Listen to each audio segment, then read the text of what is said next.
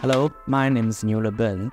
I'm an exchange student from Dongguan City University in China, majoring in Internet of Things Engineering.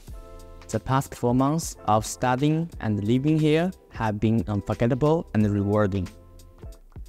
This school staff, lecturers, and my classmates have been incredibly helpful. All the time, they provided me with assistance and advice on school procedures.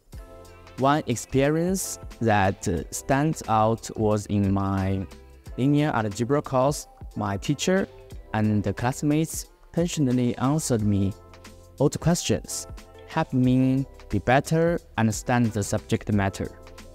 Learning entirely in English is a significant challenge, highlighting the experience of being in a completely different classroom environment. Quickly adapting to an unfamiliar setting and finding solutions to challenges have been the most valuable lessons I have learned during this exchange program.